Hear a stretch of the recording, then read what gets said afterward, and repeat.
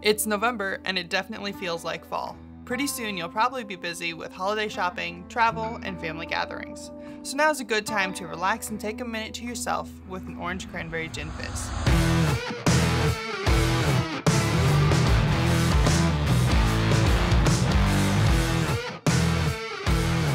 My name is Riley, and I'm the other half of Alchemix, the channel where we teach you how to create craft cocktails and improve your home bartending skills.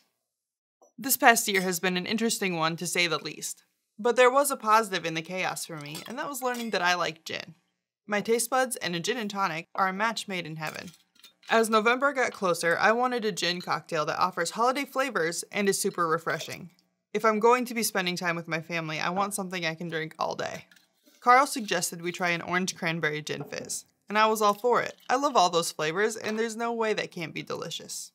After searching for recipes online, we had a pretty good understanding of the base of the cocktail, but since we both like to play around with recipes and add our own style and flair, we tweaked it a little bit. Carl has used the cranberry puree we used in this recipe for years. Why mess with a good thing? He uses the mixture mostly for variations of the Cosmopolitan, but thought it would be a great fit in this drink.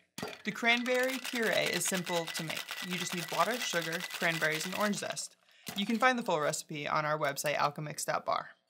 A typical gin fizz uses lemon juice, but we went ahead and substituted that with fresh orange juice. Gotta get that orange flavor.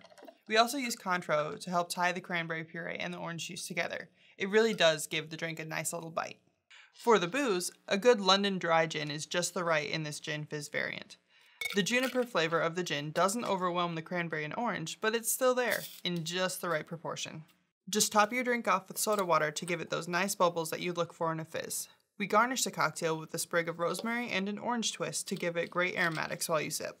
As always, thanks for visiting our channel and watching our recipe for the orange cranberry gin fizz. We hope it helps you through the holiday season, not that you need the holidays to enjoy one.